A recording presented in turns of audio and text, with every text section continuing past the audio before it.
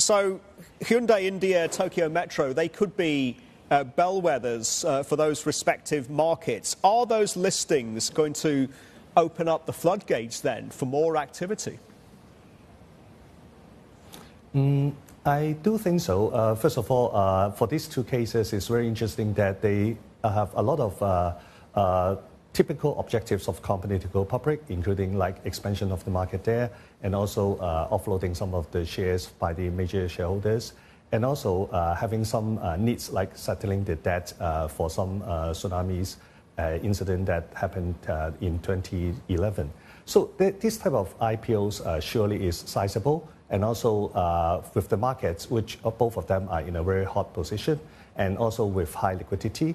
And that's why I do think that after these two IPO, and if the return of the IPO is uh, reasonably good, it will attract more company to consider these two markets as the IPO destination.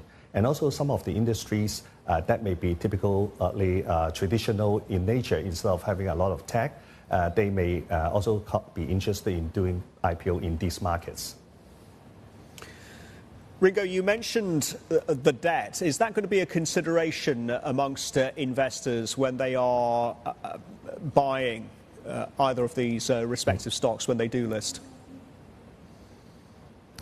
Um, well, uh, well, years ago when the Chinese company called Guangzhou Railway go public, they also partially using the IPO proceeds to repay the debt.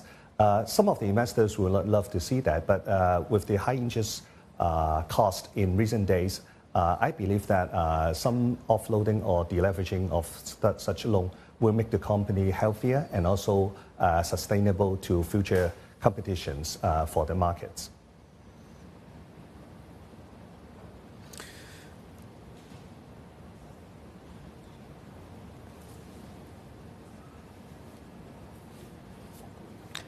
Ringo, and what's next in terms of uh, the next big ticket IPOs? You've mentioned uh, Tokyo uh, mm. Stock Exchange, mm. and how is that mm. going to be? If there are more IPO candidates uh, coming to market, then uh, ultimately, what does that mean?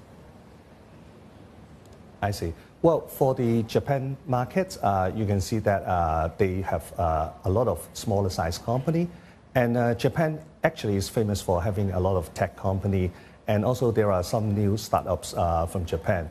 Although the size of those companies may not be as big as uh, Tokyo uh, Metro, but uh, some of them are very interesting. And then uh, there are some other like similar path of what China has done to have some e-commerce or some other interesting company that may provide various needs for the uh, new generations and, and like game or all that. Uh, I think that uh, in the near future, Japan markets uh, will recover for the IPO uh, place uh, because in this year, I, before the Tokyo Metro, Japan is not in a very high rank, even though it is one of the largest stock markets in Asia Pacific.